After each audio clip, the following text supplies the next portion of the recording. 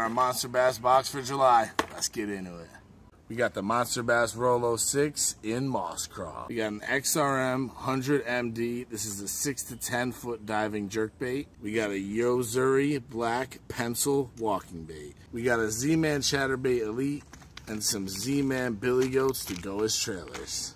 We got a lifted jigs sup jig, which is a stand-up jig head.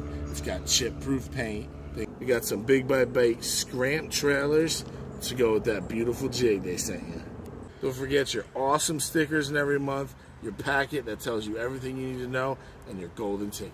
If you like anything you saw in this month's Monster Bass box, go check out monsterbass.com.